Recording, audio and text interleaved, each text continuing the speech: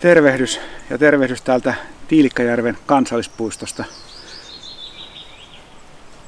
Tosiaan tämä Tiilikkajärvi on yksi Suomen 41 kansallispuistosta ja ajattelin lähteä nyt vähän katsomaan, että mille tämä näyttää.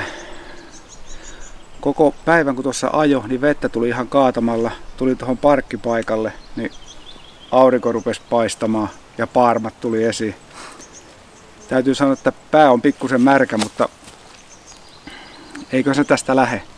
Ajattelin lähteä kiertämään tuon uiton kierroksen. Se on 7 kilometriä pitkä lenkki. Ja yöpaikka pitäisi löytyä jostain. Kovat odotukset siitä Venäjän hiekoista, että jos sinne mahtuisi, mahtuisi tota teltan pystyttämään ja olemaan siellä yötä.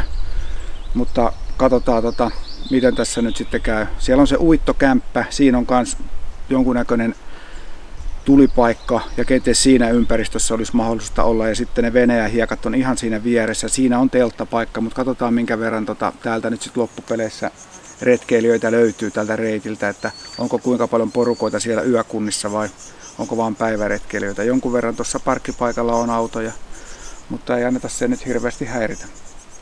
Ei muuta kuin hei tervetuloa yöreissuun Tiilikan järvelle.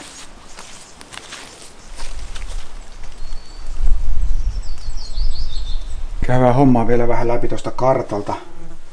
Tässä on Sammakko-tammi, tämä parkkipaikka mihin tulin, ja Uiton kierto, se lähtisi, kiertosuunta olisi siinä myötäpäivää.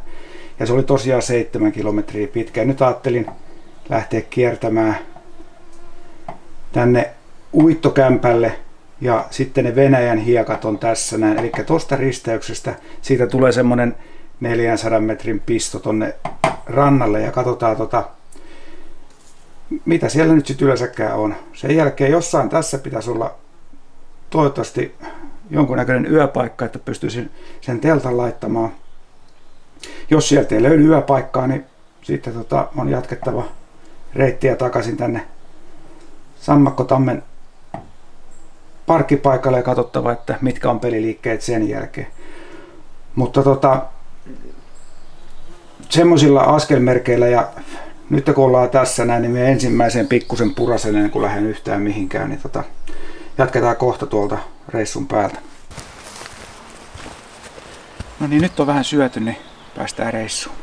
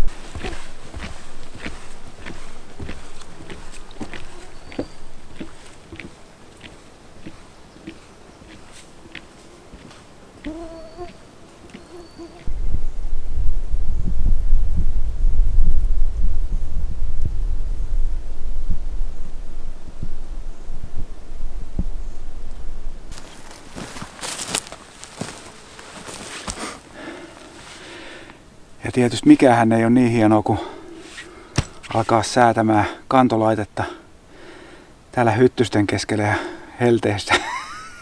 eikö, eikö sitä aina sanota, että nämä pitäisi tehdä kotona? Okei, minä tein kotona muutokset ja ajattelin, että muutos olisi mennyt parempaan suuntaan, mutta se meni kyllä huonompaan suuntaan ja katsotaan nyt mihin suuntaan meni, että se voi olla, että tämä reissu menee tämmöiseen kantolaitteen säätöhommiin nyt Onneksi on yksinkertainen säätää.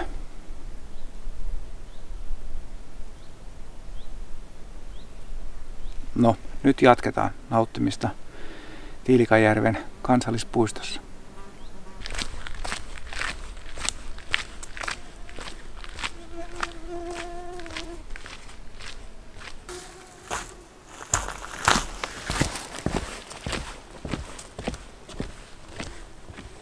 Pitkospuut kulkee täällä aika kivasti tässä järven rannalla ja polku on tosi hyvä kulkusta. Hyvät rompoolit tuotu tänne polun pohjaksi. Ainakin nyt tähän vuoden aikaa, eli heinäkuun alussa, niin hyvin kantaa ei ole mitään märkiä kohtia.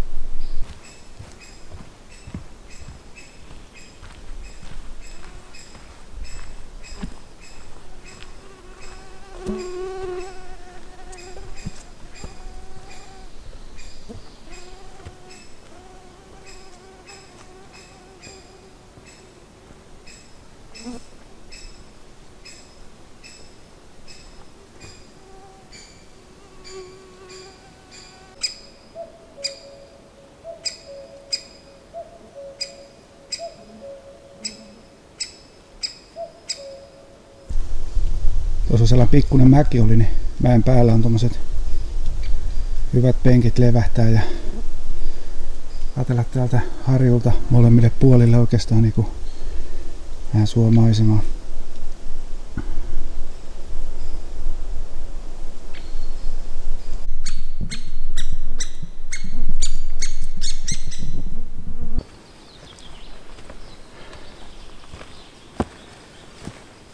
Totta kai luonnonsuojelualueet ja varsinkin nyt kansallispuistosta, kun puhutaan, kun ollaan täällä Tiilikajärvellä, niin niillä aina halutaan suojella tietynlaisia luontotyyppejä. Ja täällähän ne erityispiirteet on ihan ehdottomasti se jokijärvi ja suoalueet, mutta sitten myös nämä harjut, mitkä menee täällä soiden ja järvien välissä ja sitten ennen kaikkea järvien välissä siellä me lähdetään menemään lähemmäs sitä veneen hiekkoja ja näitä paikkoja, sitä uittotupaa. Mutta se, että nämä harjut ja harjanteet, niin nämä on niinku erityispiirteitä tälle alueelle.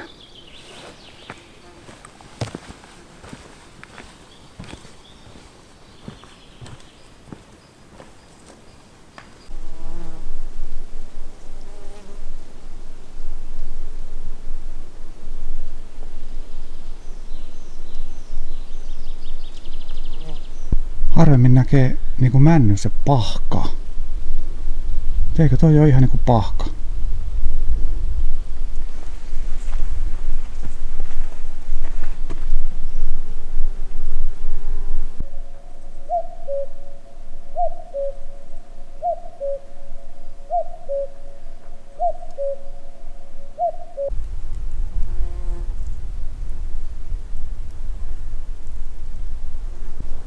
nyt olisi kyltti, että Venäjän hiekka 0,4. Ja sinne minä nyt haluaisin kyllä mennä. Muuten se reitti jatkuu tuosta ton taulun takaa tonne polkua pitkin sinne uiton kämpälle ja, tai uittomaja mikä se nyt on. Mutta nyt lähdetään käymään tuolla Venäjän hiekoilla ja mennään katsomaan, että kuinka hienoa siellä mahtaa olla. Piti vielä sitä, sitä tuossa äskettäin sanoa, että oli todella hieno se harjanne tulla tuosta polkua pitkin, tai se, missä se polku meni siinä harjanteen päällä. Vaikka se nyt oli vähän vaikea kulkunen kivikkoja juuri, juuri paljon siinä, mutta siinä oli koko ajan järvi toisella puolella ja suo toisella puolella siellä harjanteen päällä meni se polku, niin se oli erittäin mukava polku.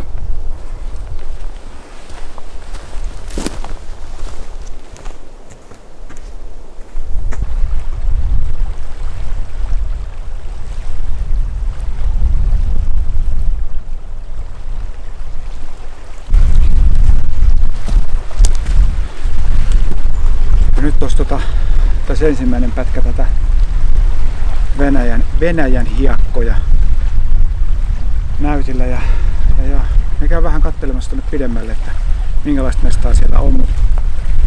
Tässä on nyt näitä telttapaikkoja ympäriinsä ja tässä on semmoinen vajaa kymmenen telttaa, mitä tässä nyt pystyy nopeasti laskemaan, mutta kyllä tänne varmaan yksi meikäläinen mahtuu sekaan. Mä käyn vähän katsoa lisää tuota rantaa.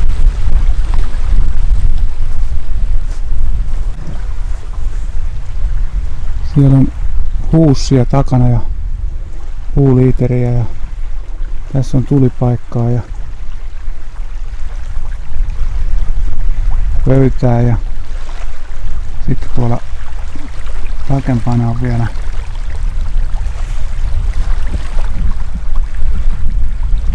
toinen tulipaikka.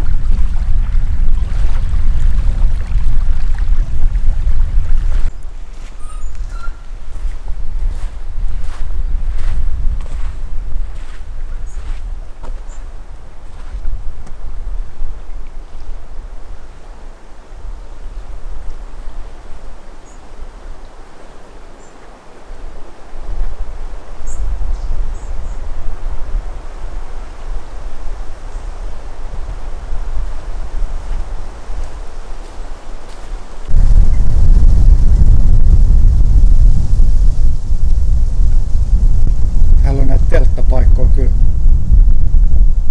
niin sanotusti yllin kyllin. Nyt on oikeastaan vähän niin kuin vaikea valita. Pitää varmaan vähän miettiä, että millä perusteella haluaa sitten yöpyä tai millä hal- perusteella haluaa valita sen telttapaikan. Että tossa on tietysti mahtavat hiekkarannat, jos haluaa uida. Pitää käydä katsoa, että minkälainen ranta tossa on. Niin tuollahan olisi kiva, kiva vähän tällainen niemen kärkipaikka. Katsotaan.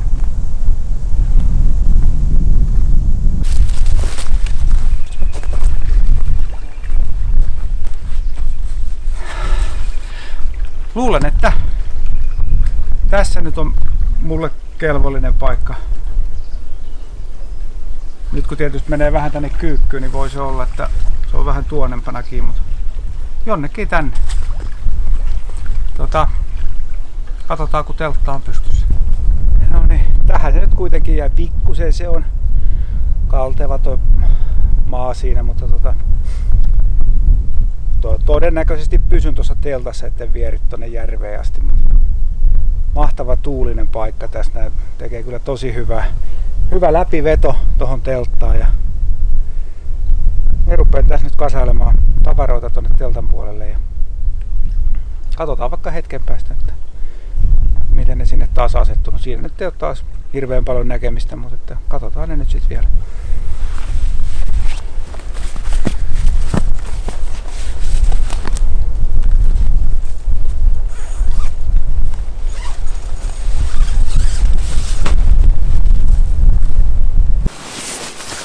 Huhhuh, no niin.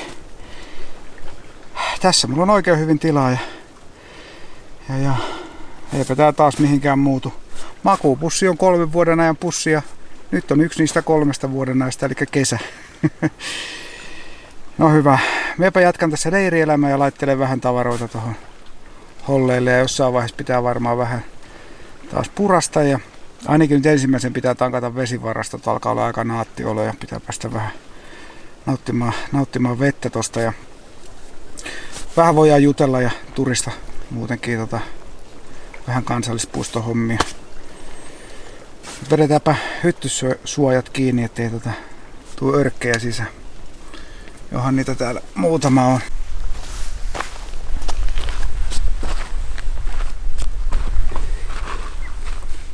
Sehän alkaisi olemaan ruoka-aika, niin pikkusen nuudeleita ja tonni kalaa.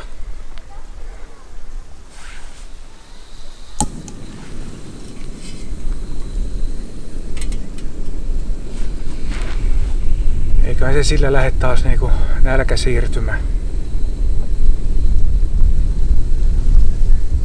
Keli ihan mieletön ja uskalsin käydä jopa uimassa ja nyt on aika sellainen niinku raikas olo.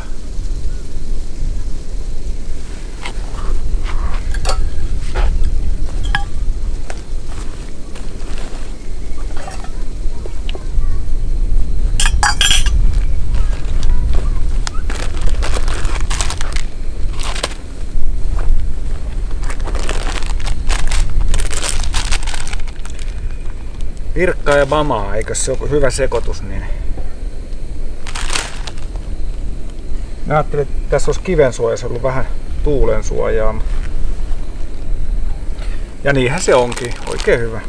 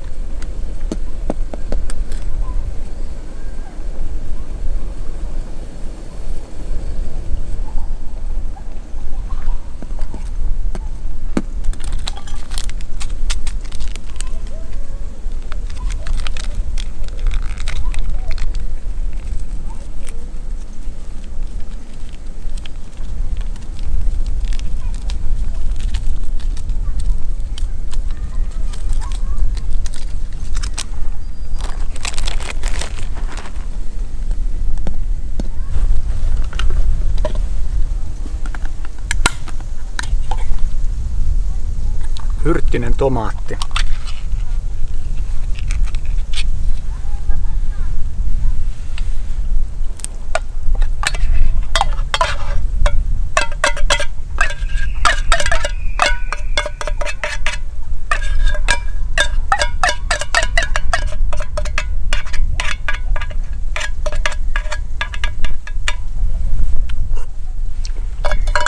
Olipas hyvä.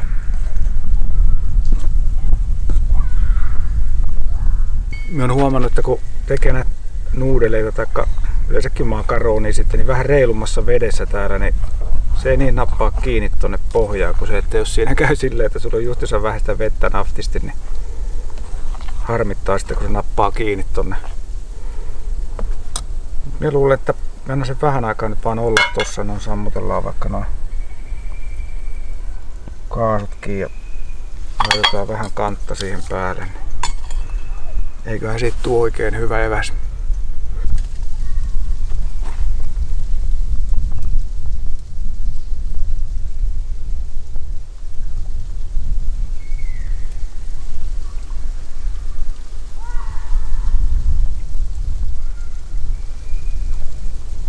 Tuolla on tuolla oikein tuolla hiekkarannalla, niin siellä on perheitä tullut uimaan, paljon lapsia siellä nyt. Ja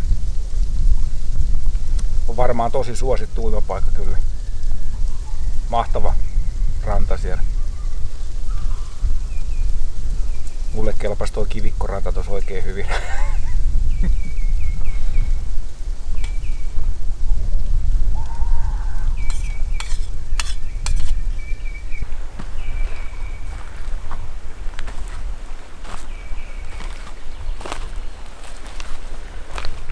Tossa kun söin äsken ja kuuntelin tota lasten vesileikkien riemuja ja mietin, että mitenköhän tuohon niinku nyt pitäisi suhtautua sitten, että mulla on kansallispuistossa ja en kuitenkaan nyt tiedä sitten, että pääseekö tuosta johonkin jostain niinku aika läheltäkin näille rannoille uimaan.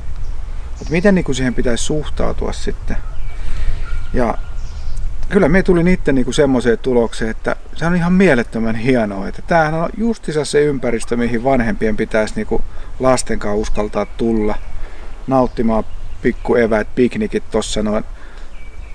Laitella tulet, jos on vaan niinku metsäpalovaroitusten myötä niinku mahdollista. Ja opettaa kenties tällaisia asioita sitten niille lapsille. Ja, ja sitten jos vielä pystyy siinä samalla niinku oikeasti kertomaan, että hei me mennään kansallispuistoon ja mikä se kansallispuisto on ja mitä se tarkoittaa, niin sehän olisi niin kuin ihan mieletön kasvuympäristö sitten taas ja antaa valtavasti tietoa tulevaisuuteen ja mahdollisuuksia sitten taas lasten rakentaa omaa retkeilyajatusta myöhemmällä iällä. Eli kyllä minä tulin sellaiseen niin kuin johtopäätökseen, että kyllähän se on vain hieno asia, jos vanhemmat tuo lapsia kansallispuistoon. Tuoko sitten vaan pelkästään uimaa tai ihan mitä vaan. Kyllä nyt kuitenkin jonkunnäköinen patikka pitää tehdä, että pääsee näin hienoon paikkaan. Hyvä.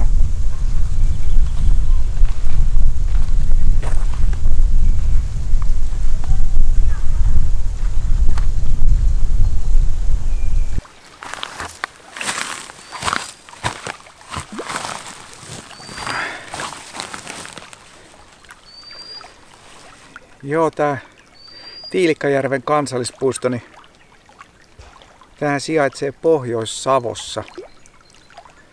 Rautavaara taitaa olla nyt se lähin paikka sitten tässä. Ja tämä kansallispuisto on yksi niistä puistoista, joita perustettiin vuonna 1982. Ja se kyseinen vuosi oli oikein niin kuin menestyksellinen vuosi kansallispuistojen perustamisen suhteen. Eli silloin perustettiin Suomeen peräti 11 kansallispuistoa. Ja niistä saadaan sitten tällä tavalla täällä nauttia. Ja tosiaan tämän paikan niitä arvoja oli ehdottomasti nämä vesielementit, nämä joet ja järvet ja suoalueet ja sitten ne harjanteet ja harjut siellä mitkä tavallaan niin kuin kilvoittelee siellä vesien ja soiden välissä. Tämä kierros tosiaan, mitä nyt on tässä kiertämässä, on se uiton reitti ja se 7 kilometriä pitkä ja sieltä Sammakotammen parkkipaikalta on tähän Venäjän hiekoille matkaa niin 3,8 kilometriä ja ajattelin tuossa sitten aamulla kaikessa rauhassa heräillä ja keitellä puurot ja juoda kahvit ja lähteä jatkaa matkaa ja taivaltaa sen loppupätkän. Se oli ilmeisesti enemmän sitten semmoista suovoittosta aluetta, se takaisinmenon matka sieltä. Ja... Mutta innolla otan sitä huomista, että mitä se tuo sitten tullessaan. Tämä oli mahtava ratkaisu lähteä siitä autolta sillä tavalla, että otin noin yöpymisvarusteet kaikki matkaa ja, ja, ja vaikka en ollut varma, että miten täällä pystyy sitten yöpymään, mutta tämä oli ihan, ihan niin kuin napakymppi juttu ja nyt saa levähellä täällä kaikessa rauhassa ja jatkaa sitten huomenna pirteenä reissuja ja näin. Mutta nyt jos, jos tässä ei mitään sen ihmeellisempiä asioita tuu itsellään mieleen taikka näin, niin me varmaan sitten keskityn vaan tässä itteni illasta nauttimiseen. Ja jos tulee oikein hieno auringonlasku tonne, niin sen minä haluaisin kyllä yrittää kuvata, mutta että muuten sitten niin palataan tota huomenna aamuna asiaan. Nyt ei muuta kuin tässä vaiheessa iltaa jo hyvää yötä.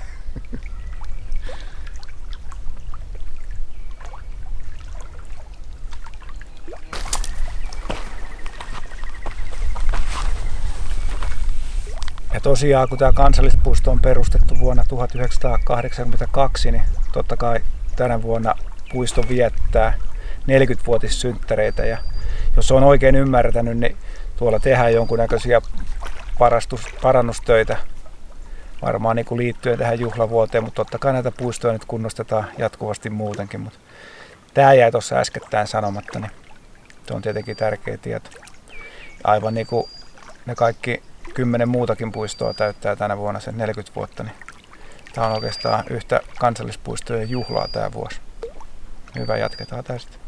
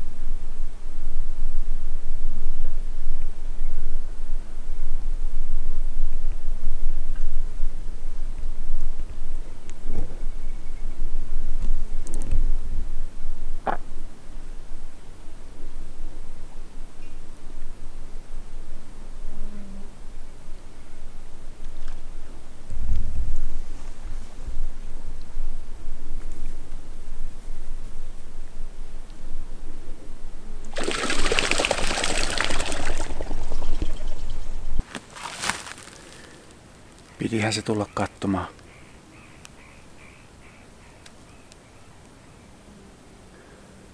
On todella hieno näköinen.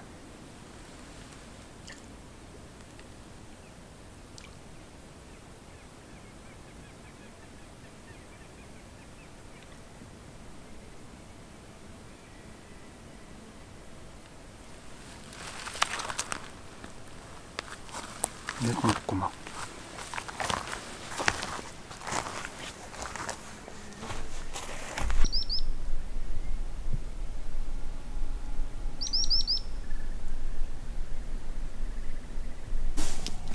Huomenta.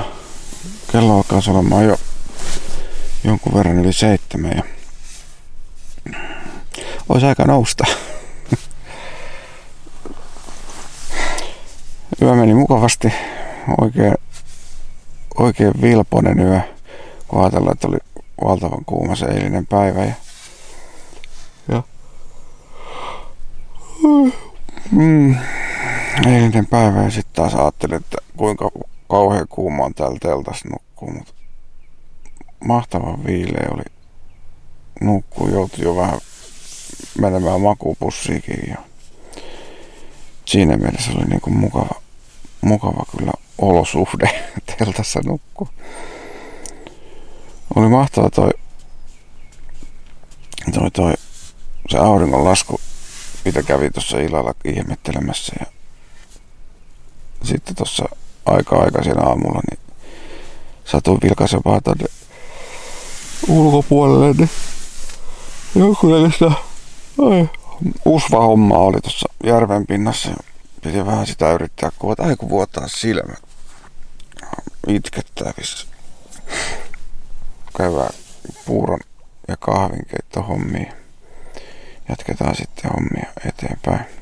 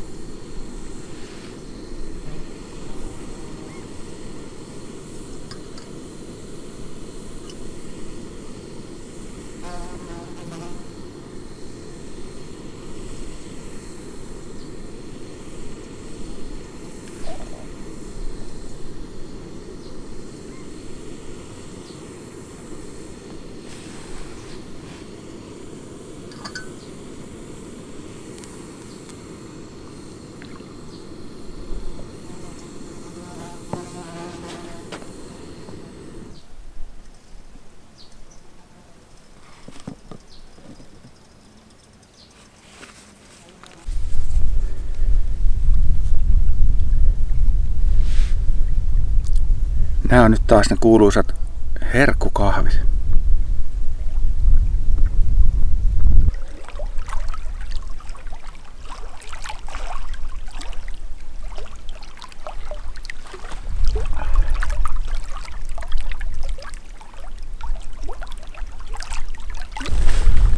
No niin, paketti olisi kasassa ja matka jatkuu. Eli varmaan seuraavan kerran pysähtelen siinä uiton tuvalla ja ihmettelen hetken aikaa siinä ja sitten jatkan sitä kierrosta. Eli homma on niin sanotusti hyvässä mallissa. Jatketaan.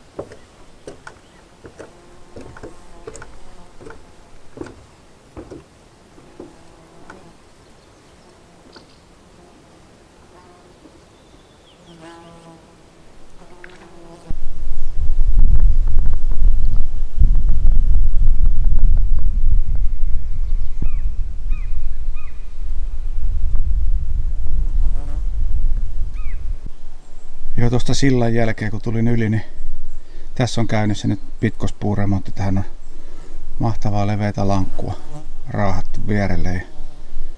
Eiköhän ne sitten joku siihen tuu jossain vaiheessa asentamaan. No niin, uiton kierto jatkuu tonne ja sinne Sammakkotammen parkkipaikalle on se 3,5 kilometriä matkaa. Ja tuossa takana on tämän reissun kolmas vesistöyritys, jonka voi tehdä totta kai sillan kautta. Ja siinä on se uiton tuvan pihapiiri, niin käydään vähän sitä katsomassa.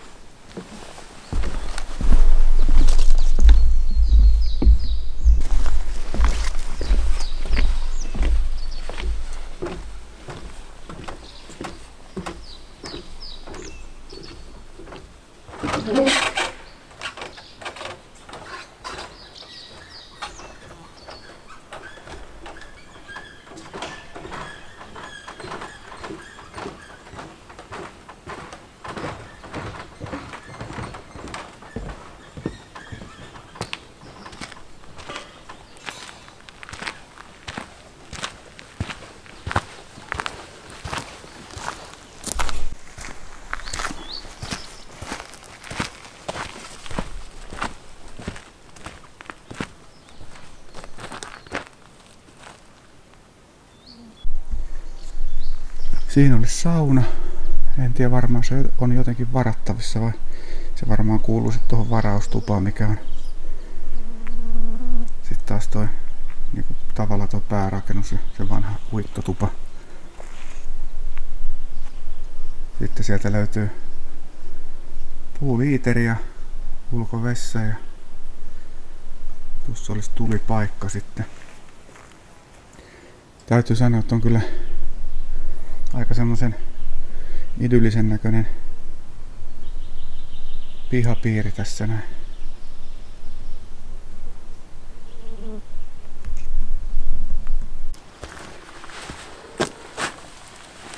Siinä on sitten tota keittiö.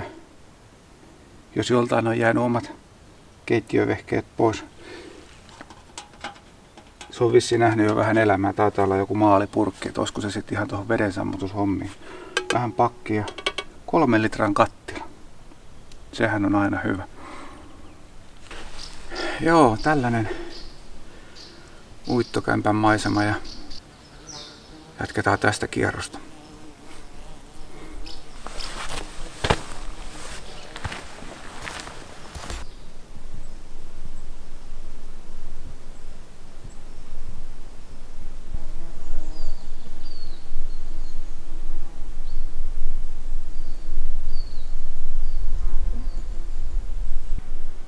Huomannut itsestäni ihan selkeästi sellaisen piirteen, että nämä pitkospuut niinku kiehtoo tosi kovasti minun.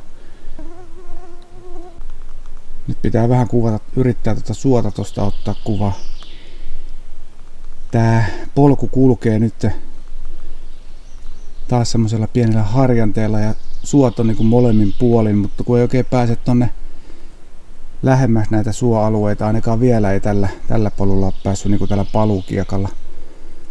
Mutta varmaan tuolla, tuolla matkan varrella vielä tulee parempiakin kuvauskohteita, mutta tämä on niin, niin nätti ja rauhallinen suo, että se on, se on niin just sen näköinen, että se on ollut niin aina siinä. Ja tietenkin mullahan on piirtynyt suotyyppi hyvin vahvasti niin kuin mieleen, minkälainen se tuolla Kainuussa. Ja nythän ollaan tietysti ollaanko me Kainuussa, vaikka me ollaan Pohjois-Savossa, mutta ainakin ihan siinä rajalla. Niin tota, se on just tämän tyyppistä se suo. Ja sitten taas tuolla etelässä, etelässä ne suot on vähän toisen tyyppisiä. Niin kuin siltä yleisilmeeltä. Vaikka tässä nyt on vähän tätä känkkärämäntyä nyt tässä eessä, mutta varmaan tuota suota niin kuvaa parhaiten sana lempeä.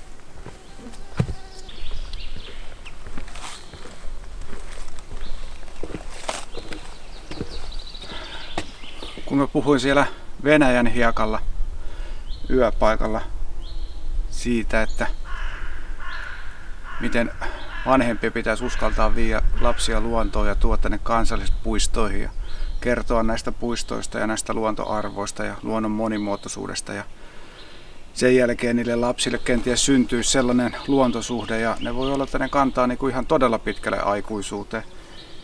Ja niin kuin nämä suomaisemat, nyt me näytän kohta vähän tonne päin, niin tota, mulla tulee niin vahvasti mieleen oma lapsuus tuolta Vaalan seudulta ja kun porukat vei Tolkin suolle hillaan, vaikka en tosi montaa kertaa siellä ollut, mutta se kuitenkin niin jäi tonne päähän ja pintty se ajatus siitä, että minkä näköinen se suo on ja sitten taas isän kotipaikalla siellä Nuojuolla, niin tuolla oli aikaisemmin semmoinen semmoinen tota, heinäoja, niin tuli heti välittömästi mieleen se Nuojuon heinäoja, missä sitten taas isä kalasteli pienenä. Ja... Eli tosi vahvasti jää mieleen kuitenkin tällaiset asiat. Ja tästä on kuitenkin niin kuin vuosikymmeniä aikaa, kun me on siellä niin kuin saanut ne kosketukset siihen luontoon. Ja totta kai tässä välissä on niin ollut se luontokokemukset paljon vähempänä itsellä, kun on ollut kaikenlaisia kiireitä, mutta nyt on ollut taas mahtava, kun viimeiset vuodet päässä rakentamaan sitä omaa, omaa niin kuin sitä luontoajatusta taas uudestaan ja sitten keräämään sieltä lapsuudesta niitä kaikkia muistoja tästä matkan varrelta. Mutta kurkistetaan vähän tohon suuntaan kohta. Siinä on vaan tuommoinen hyvä heinäsuo. Tupasvillaa näkyy tuolla suomentyjen katveissa ja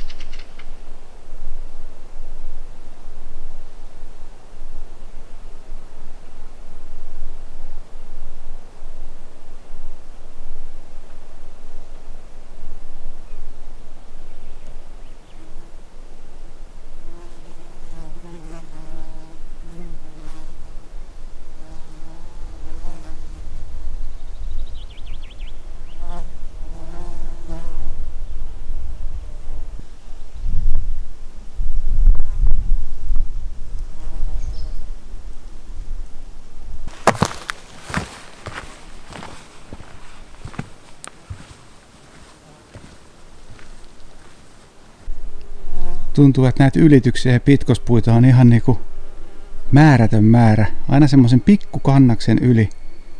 Ja taas tulee tämmöiset mielettömät pitkokset ja tupasvillat ympärillä ja aurinko paistaa ja hiki valuu.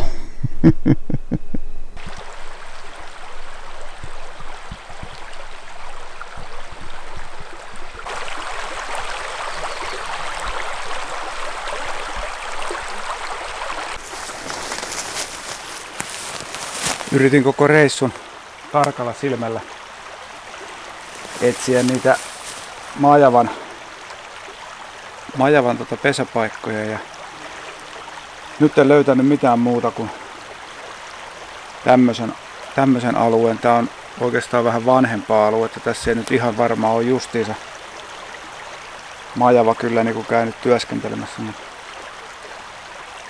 jossain vaiheessa on työskennellyt.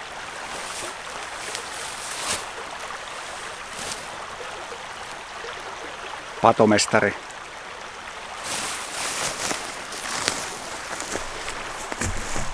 Se alkaa Sammakkotammen parkkipaikka ja lähtöpaikka häämöttämään, niin otetaan vielä viimeiset metrit ja lyö homma pakettiin.